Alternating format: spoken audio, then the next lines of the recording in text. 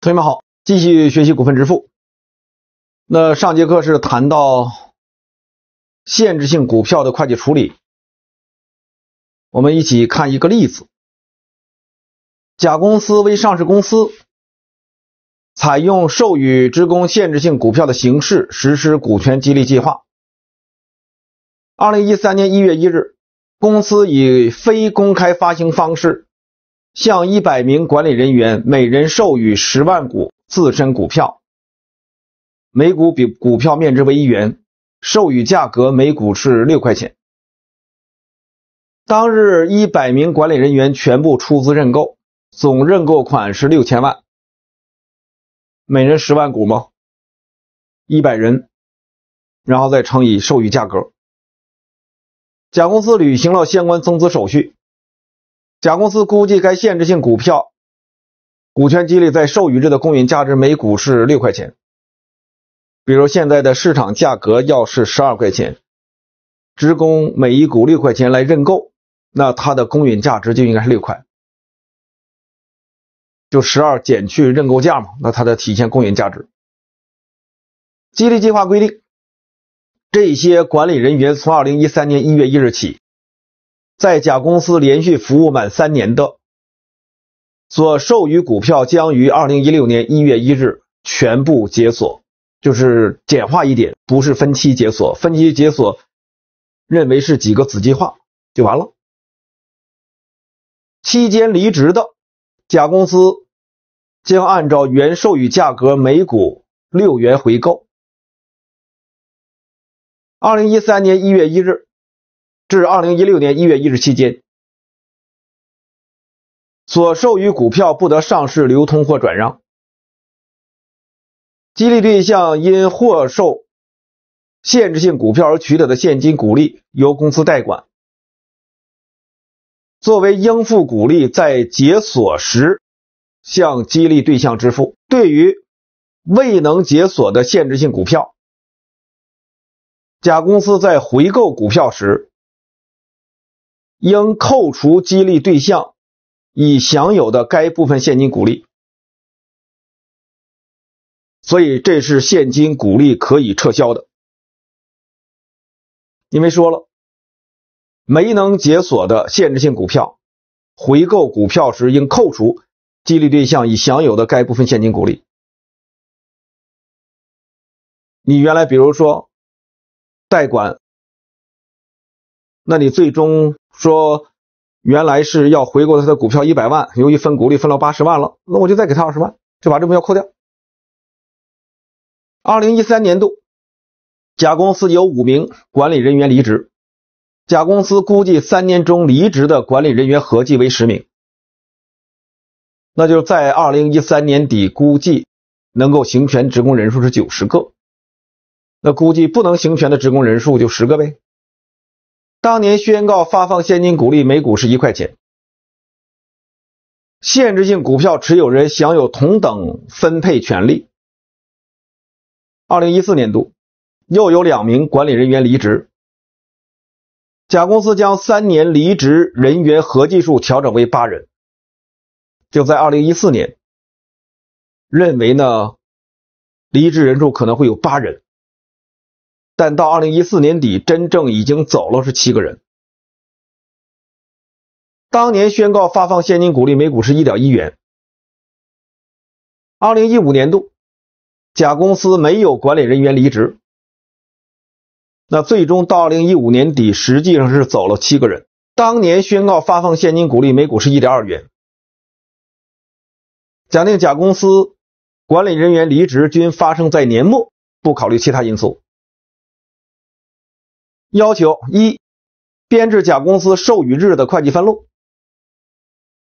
第二，编制甲公司等待期内各期确认管理费用和资本公积的会计分录；第三，编制甲公司等待期内各期分配现金股利及股票回购的会计分录；第四，编制甲公司解锁日的会计分录。那我们一起看一看这个题目，对于现金股利这一块是可撤销的。好看一看答案，第一个是甲公司授予日，激励对象认交的股款一共六千万，股票是一千万股，反映股本里面的金额是一千，差额反映到资本公积的股本溢价里面是五千，所以从法律形式上来说，已经有这部分股票了，那你股本里面就应该反映一千万，然后由于。存在着一种将来要偿付的义务，所以我们还要确认其他应付款，确认一项负债。那下一笔分录借库存股，就这一部分股票呢，虽然激励对象持有，但将来我们可能要把它回购。如果你回购自己的股票，就反映到库存股里面，所以借库存股。将来有付款义务，现在没有真正说回购，贷其他应付款，是这样来进行处理的。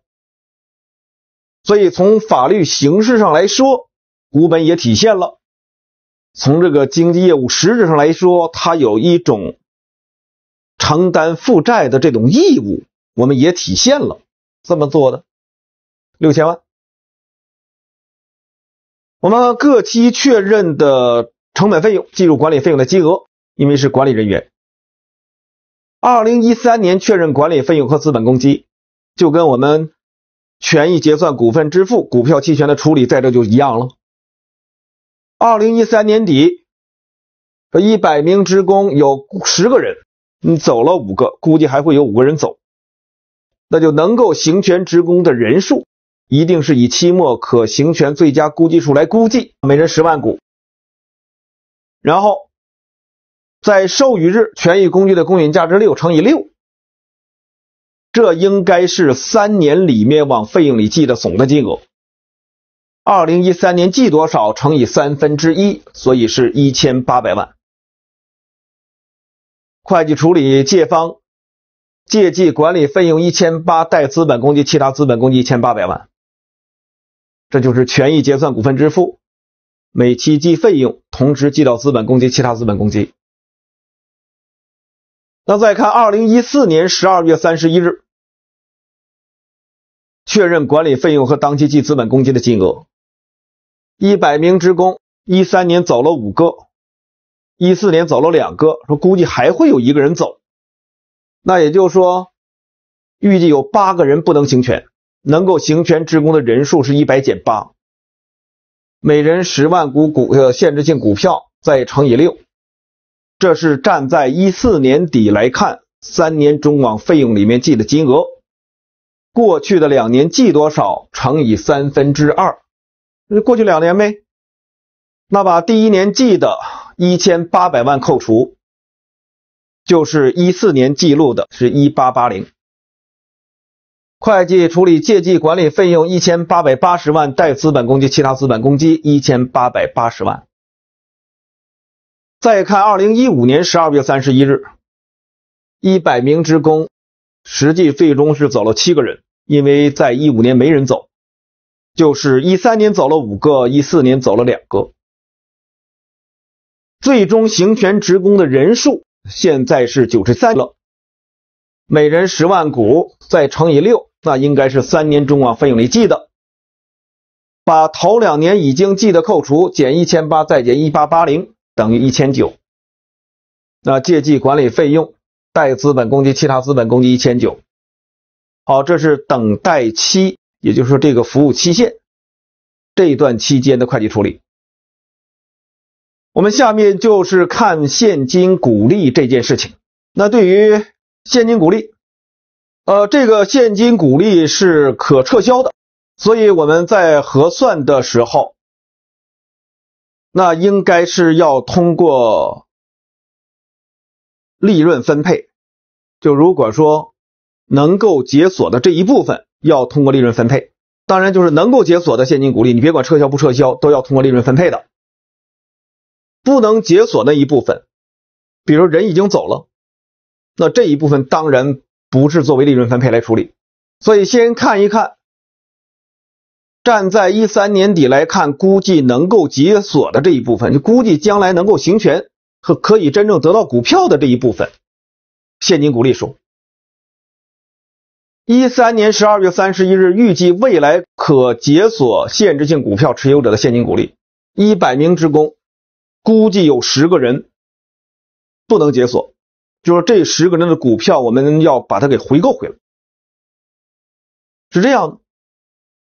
那能够解锁的就是九十人，每人十万股，每股股票股利分的是一，这就是说。未来能够解锁的可解锁的现金股票股利呢是九十九百万，只要是预计能够解锁的，在前面跟大家说过，就他们可以行权了，股票呢就一直会在他们手里。那我们站在股份有限公司角度上，就是一种利润分配的形式。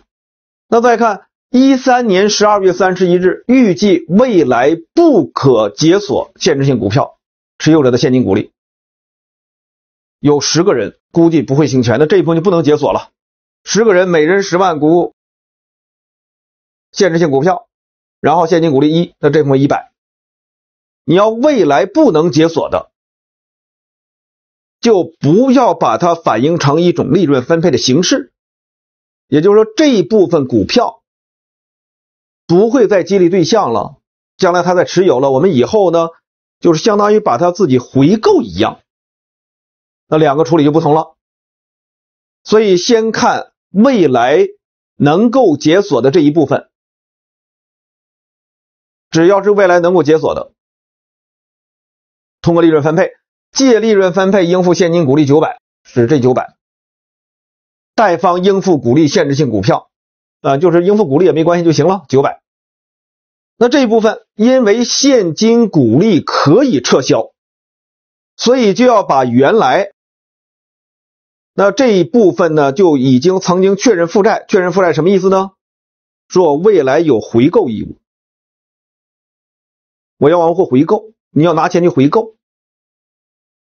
但这部分呢，已经是付了股利了九百万，九百万我还可以把它撤销，那就意味着拿这个九百万，我们已经回购了一部分，所以其他应付款就相应的应该要减少。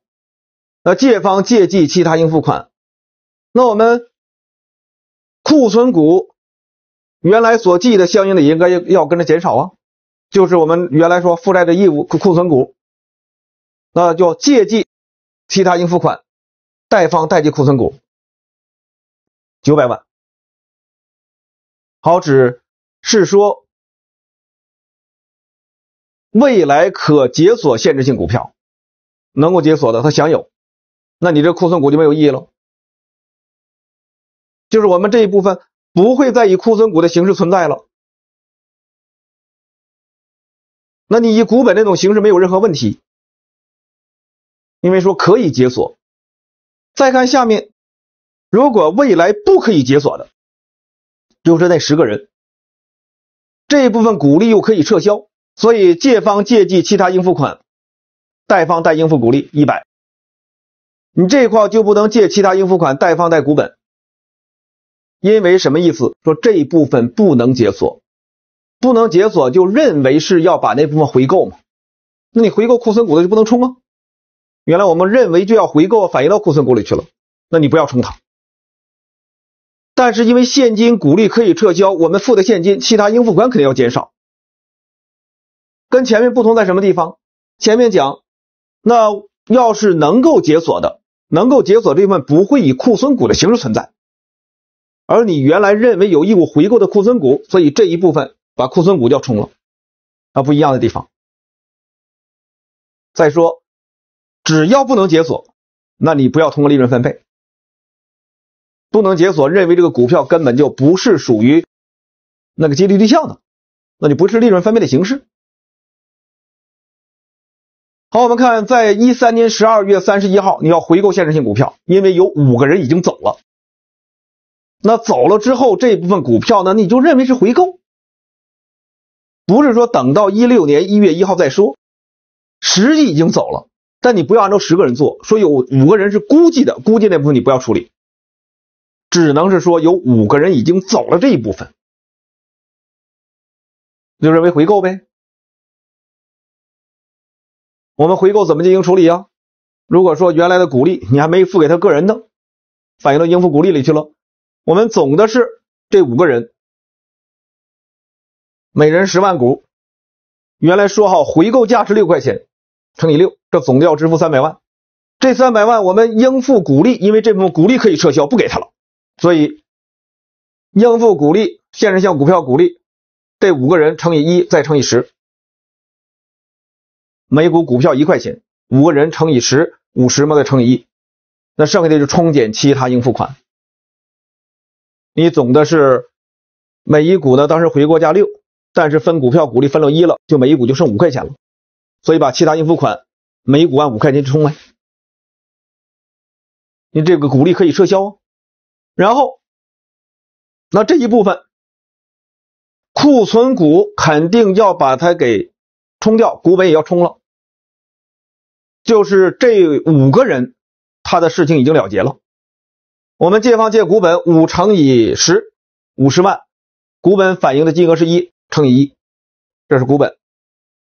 然后库存股五个人乘以十，每人十十万股股票。再乘以六，因为当时按照六反映的，差额反映到资本公积股本溢价二百五十。这是说一三年底已经有五个人走了，那把这一部分走的人已经就都处理完毕。再看二零一四年十二月三十一日，预计未来可解锁限制性股票持有者的现金股利。你每年年底都要重新估计啊？那人你原来估计走几个人，现在真正走几个都得到年底重新算吗？那前面也谈到了，预计可行权情况、最佳估计数吗？要确定它。我们看看一四年底的时候有多少人可解锁的，到一四年底一共有多少？先算累计数字吧，一百名职工。走了七个，估计还会有一个走，那就是能够行权职工的人数一百减八，是这个数。每人是十万股。一三年底宣告了每股是一，一四年宣告每股一点一，所以每一股现在累计数到一四年底的股利是二点一，一加一点一，那累计股利应该是有这么多。但在一三年，就是未来可解锁限制股性股票的持有者股利是九百，把九百去掉，等于一零三二，这是一四年本身的要做的。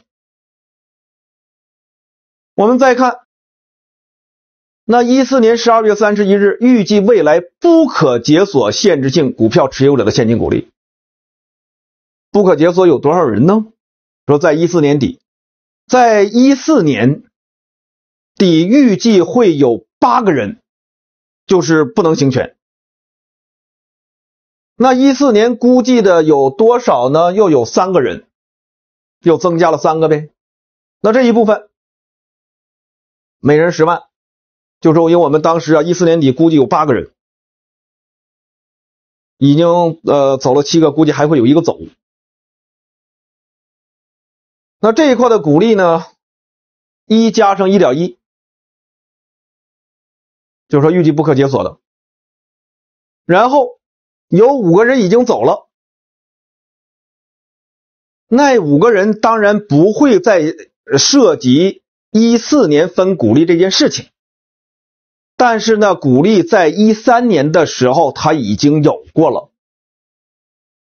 所以一乘以五再乘以十，而总的预计是八个，有三个人。他当然在一一三年的股利有，一四年股利也有，所以这一块呢，在三个人乘以一加一点一，然后再乘以十万，这是一乘五加十，一乘五加十只是有一三年的，因为一四年这五个人根本不会享有。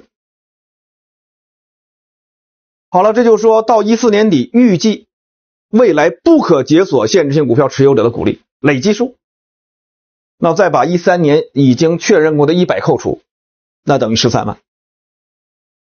都同样啊，先要算累积数字到时候有多少，把以前的一扣就属于当期的，它是这么形成的。同样在进行会计处理时，那你当期发生的未来可解锁限制性股票持有者的股利，可解锁的将来股票激励对象是持有的，所以作为利润分配吗？可解锁就利润分配，不可解锁的不通过利润分配。借方借记利润分配应付现金股利，当期的是一零三二，待应付股利限制性股票股利一零三二。那既然说这一部分当期可解锁，我们就不需要进行回购，现金股利又是可以撤销，其他应付款会减少。同样，既然你不回购，直接我们贷方贷库存股一零四二。你要是以后有义务回购的，那你库存股不能动，回购本身要增加库存股吗？你说这部分不用回购了，那库存股就冲了呗。一零三二，然后当期再借其他应付款，贷方贷应付股利。十三，这十三就是我们刚刚算到的，一四年又发生的未来不可解锁现金股票持有者的股利，这部分股利呢借其他应付款，因为是属于。现金股利可以撤销的，所以是借其他应付款，但贷方是应付股利，贷方不能是库存股，原因就是不能解锁，你库存股不能冲，不能解锁就是认为你买回来吗？买回来就接到库存股里去。十三，那二零一四年回购限制性股票回了两个人，因为实际上是走两个，那你这两个人的还是要进行处理，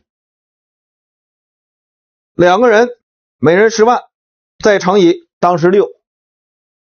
说按照六块钱回购，这两个人的股利已经累计了二点一了，因为第一年是一，第二年是一点一，二点一乘以他十万股吗？所以应付股利限制性股票冲四十二，其他应付款呢？因为是六，我们有二点一，那你是直接冲应付股利了？回购的时候不是其他应付款了，呃股利可以撤销，直接可以冲，那我们就是。六减去二点一，然后乘以十呗，七十八。借方借其他应付款，这叫现金股利可以撤销。接下来呢，回购注销，那么借方借记库存股，呃，借记股本，二乘以一乘以十，然后贷库存股，二乘以十乘以六，就是这两个人持有的库存股啊。然后差额就反映到资本公积的股本溢价里面去，一百。也就是我们在注销库存股，或者说你真正的这几个人回购的时候的分录，一定是说当期离开的人数，预计的与这个没关。第三，二零一五年十二月三十一日，预计未来可解锁限制性股票持有者的现金股利。一三年每股是一块钱，一四年每股是一点一，一五年每股是一点二。然后我们要乘以一四年底能够行权职工人数是九十三人，最终只走了七个，一五年没走，就是一五年没走，一三年走了五个，一四年走了两个，一共是七个，能够行权职工人数一百七七，每人是十万股限制性股票。那到这一块呢，就应该是累积的。我们把一三年的确认的九百和一四年确认一零三二扣除，幺幺三七是一五年的。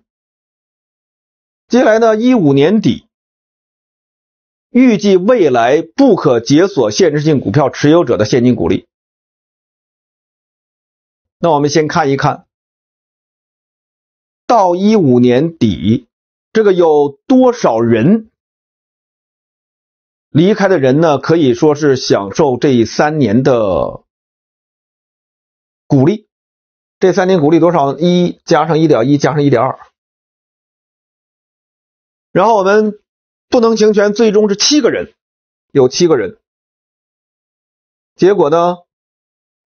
一四年走了两个，一三年走了五个，没剩。那如果说真的要是九个人的话，那你这边是九减二减五，是属于一五年走的这部分人，是这样的，乘以十，每人十万吗？那这一块是说一五年的数，要是一五年真正有人离开了，算他的不可解锁限制性股票的股利是这么多。我们前面也算过，那你算累计数呗。一三年的是一乘以五乘以十，一四年走的是那二点一，因为一个人呢是享受二点一，一加成一点一那数嘛，走了两个人乘以十，这就说那累计数啊。因为这种累计必须一年一年算，人数不定啊。那我们再把一三年确认的十扣掉了，啊，确认的一百，一四年有十三给它减去，负的二十一。负二十一代表什么概念？那原来估计多了呗，谁知道啊？原来是认为有八个人可以走，结果他没走那么多呀，那有可能会出现负的。怎么进行会计处理？一五年当期的幺幺三七。啊，借利润分配应付股利，幺幺三七，不说了吗？只要是未来能够解锁的，通过利润分配来核算。未来能够解锁的原理呢，也跟大家谈到过，就股票就认为是激励对象的，所以你利润利润分配。既然下面说它的现金股利可以撤销。所以，我们相应其他应付款就冲掉一部分，也就是将来你即使回购，我们也用不了那么多其他应付款，因为有一部分是冲股利的，应付股利的。借其他应付款贷库存股幺幺三七，也说过为什么贷库存股？我既然未来能够回购，能够回购，那库存股就要减少。你已经先反映了借方的认为是回购，那现在认为这一部分以后不需要回购了，它是可解锁的吗？所以你库存股原来认为回购的，给它冲掉。那接下来不可解锁的这一部分，由于算出是负的，就原来你的其他应付款弄多了，我们再借应付股利，贷方其他应付款。说到这个时候，你冲负债冲多了，那我们把它给冲回来。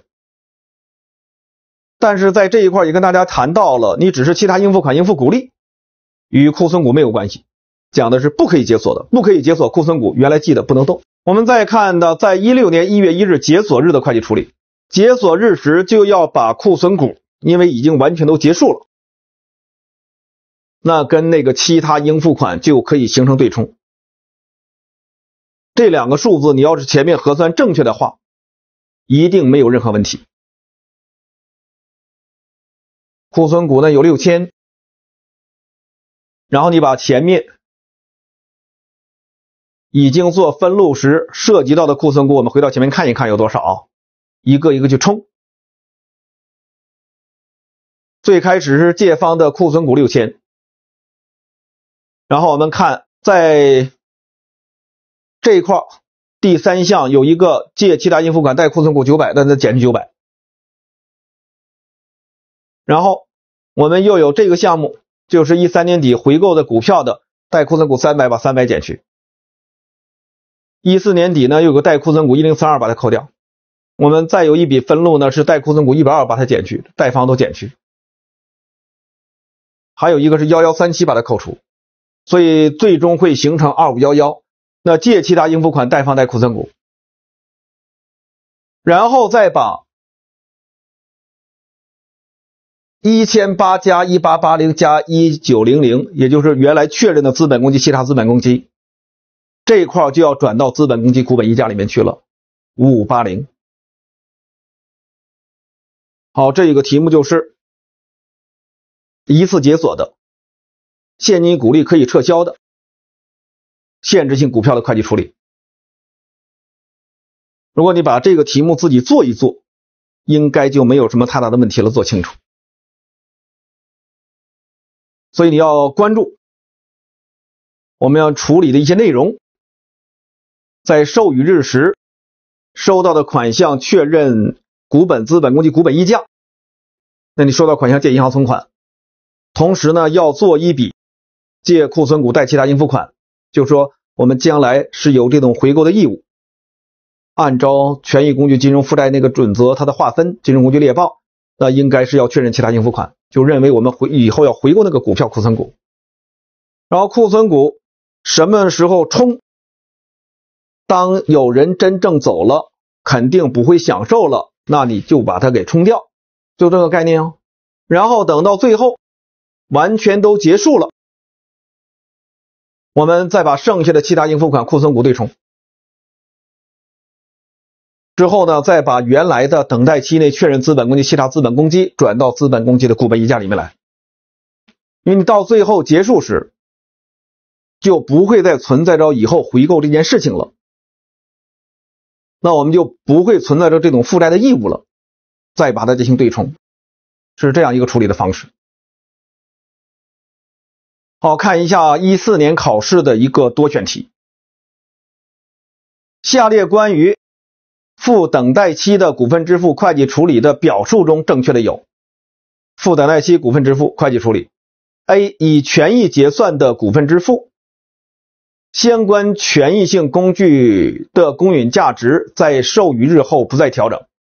对呀，权益结算股份支付，我们就是授予日的公允，那只要没有说涉及条款的有利修改的字样，就认为以后不再调整。所以他的说法这个算正确。B，附市场条件的股份支付，应在市场及非市场条件均满足时确认相关成本费用。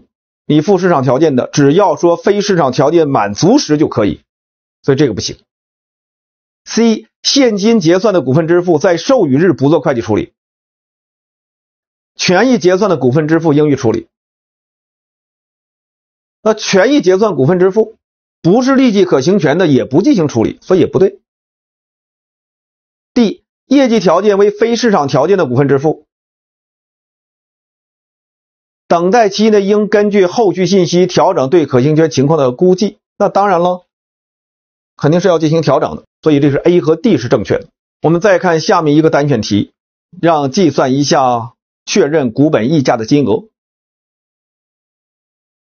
二零一四年一月一日，甲公司向五十名高管人员每人授予两万份股票期权。这些人员从被授予股票期权之日起，连续服务满两年，即可按每股六元的价格购买甲公司两万股普通股股票，每股面值一块钱。该期权在授予日的公允价值为每股十二块钱。二零一五年十月二十日，甲公司从二级市场以每股十五元的价格回购本公司普通股股票一百万股，拟用于高管人员股权激励。在等待期内，甲公司没有高管人员离职。二零一五年十二月三十一日，高管人员全部行权。当日甲公司普通股市场价格为每股十六元。二零一五年十二月三十一日，甲公司因高管人员行权应确认的股本溢价是多少？我们前面也谈到了，要是行权确认股本溢价，如果说有行权价，那你实际收到的款项，再加上等待期内确认的资本公积、其他资本公积，然后你去掉股本或者库存股。就看到底是什么样的方式了。要是增发股票，那减去股本；不是增发股票，从市场上回购的股票库存股，差额就会形成资本公积股本溢价这样一个概念。五十名高管人员，每人授予两万份股票期权，那授予日的公允价值十二。由于等待期内根本没有人进行行权，啊，等待期里面没人走，我们这里面说将来呢可按每股六块钱的价格购买甲公司两万股普通股，那一个人啊，那一份期权买一股呗。你说能够得到的银行存款是多少？那也就讲五十名，每股是六块钱，一个人两万股，五十乘以二乘以六，这银行存款。那你说资本公积、其他资本公积等待期里是多少？咱最终看有多少人没走，能够行权的人数，那应该五十乘以什么呀？乘以两万份，乘以授予日权益工具的公允价值十二，那就它呗。然后我们再冲库存股吧。这里说库存股，库存股买一百万股，每股是十五块钱。那本来呢是五十名职工，两万股股票也是一百万吗？所以库存股一百万股乘以十五全冲掉，那差个资本公积股本溢价呗。具体来看，说行权时收到的款项五十乘以二乘以六，六百万。我们要冲减资本公积的是最终行权的人数，最终行权还是五十个人没人走。如果说最终行权四十五个人，那你就四十五算，五十乘以二再乘以十二，就是授予日权益公积公允价值一千二。冲减库存股买的一百乘以十五，那一百五十倍。这样行权时确认的股本溢价，银行存款加上资本公积。其他资本公积的数字，再减去库存股，那就是股本溢价的数，三百万。好，我们看第六个问题：集团股份支付的处理。集团股份支付涉及到母公司给子公司激励对象授予股份，当然也同样涉及母公司给母公司激励对象授予股份的事情。那我们按照解释公告，它是怎么讲的？第一个，结算企业以其本身权益工具结算的，应当将该股份支付交易作为权益结算股份支付处理。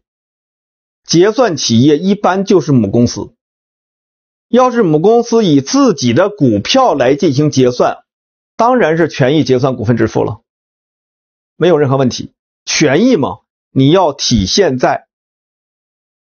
最终是不是自己股票？是不是你这个主体的股票？那是呗，就就行。说除此之外，要作为现金结算股份支付处理，不是以自身权益工具，就是现金结算股份支付。下面说，结算企业是接受服务企业的投资者的，比如说接受服务企业是子公司，结算企业是母公司。那应当按照授予日权益工具的公允价值，或应承担负债公允价值确认为对接受服务企业的长期股权投资。说同时确认资本公积、其他资本公积或负债，这句话什么意思？结算企业是母公司，接受服务企业是子公司，激励对象是在子公司提供服务。那你在母公司这一边不可能借记管理费用等成本费用。因为激励对象没在你这个主体这边来工作，激励对象在哪个主体工作，哪个主体往成本费用里记。但是我们将来会给他这种股份，所以就要借长期股权投资。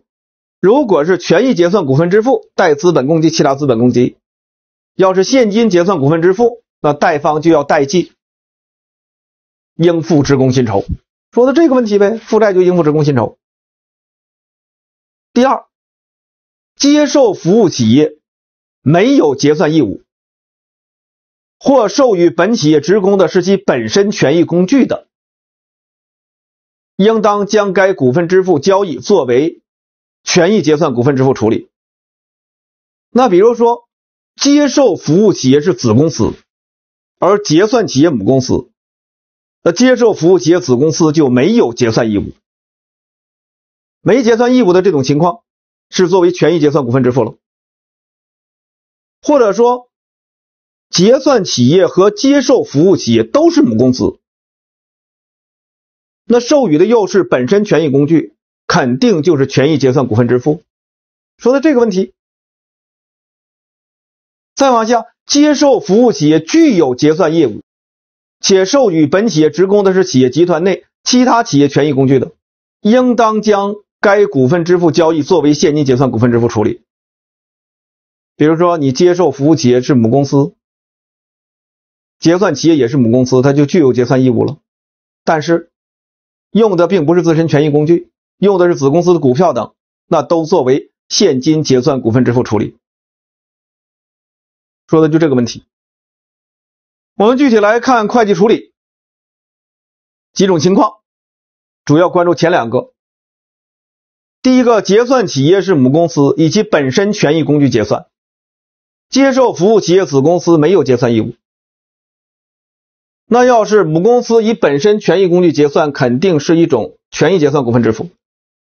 所以结算企业母公司是借记长期股权投资，贷方贷资本公积、其他资本公积。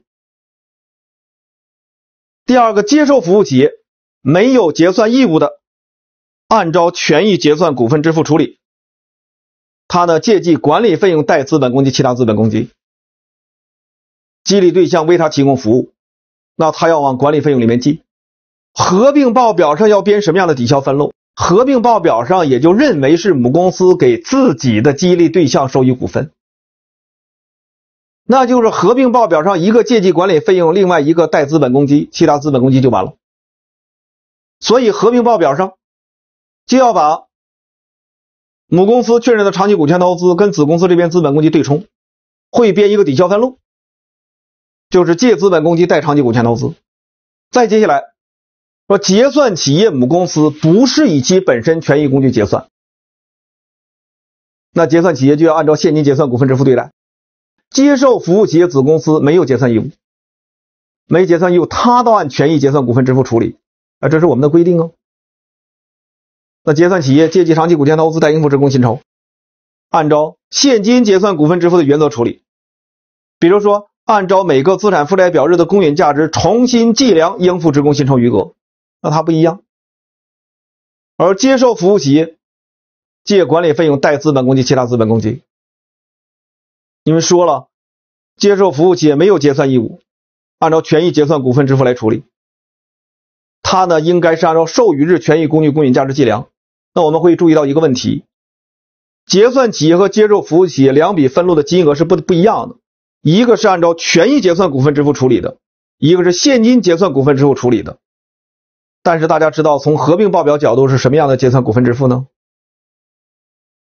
那肯定是一种现金结算股份支付啊。所以合并报表我们要做什么分录？把母公司长期股权投资给冲了，然后呢，资本公积子公司冲掉，差额是反映到管理费用，反映到管理费用体现一种什么了？最终是现金结算股份支付，因为我们前面这一块的管理费用，它是按照权益结算股份支付的原则来处理的。我们要把它调整到现金结算股份支付，说的这个问题。第三，结算企业和接受服务企业均为母公司，那这跟我们不是集团那种方式的处理是一样的。你就自身权益工具结算的，自己呢就是借记管理费用贷资本公积、其他资本公积，与子公司没有关系，完全是母公司自己的事情。第四，结算企业和接受服务企业均为母公司。不是以其本身权益工具结算，那就是自己按照现金结算股份支付处理原则去处理完了。第三和第四两种情况与子公司没关，也不涉及到合并报表什么抵消的问题。不像第一个跟第二个，你既要考虑母公司的处理，也要考虑子公司，还应该清楚合并报表上如何来进行处理。那这节课给大家介绍的是限制性股票。呃，举了一个例子，呃，因为是今年新增的内容，最好把那例子自己做一遍，就找找感觉。然后谈的是关于集团股份支付会计处理的一些原则。好，这节课就到这里，谢谢大家。